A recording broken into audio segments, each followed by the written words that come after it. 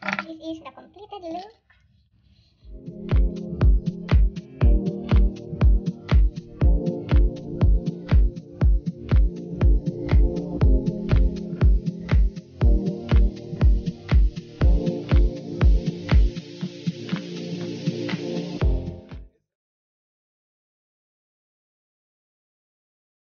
So, ito na po yung finished look ng ating makeup.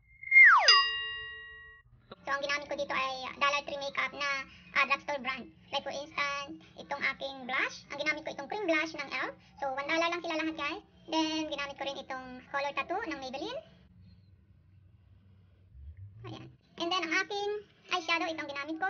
Itong Physicians Formula eyeshadow. And then, ang ginamit kong kulay ay ito. And this one. And this one. And then, what else? Ah, okay. For the lipstick, itong ginamit ko. Cherry Coral. So, yung ibang makeup na ginamit ko, ganito. So, drugstore product. Wala naman akong high-end product. Lahat drugstore lang. So, yung foundation ko, same as usual. Yung aking ah, Maybelline Super Stay. Ito pa rin. No pa, ah, yung eyebrow ko is yung ah, e.l.f. So, that's all guys. Thank you for watching. Hanggang sa muli.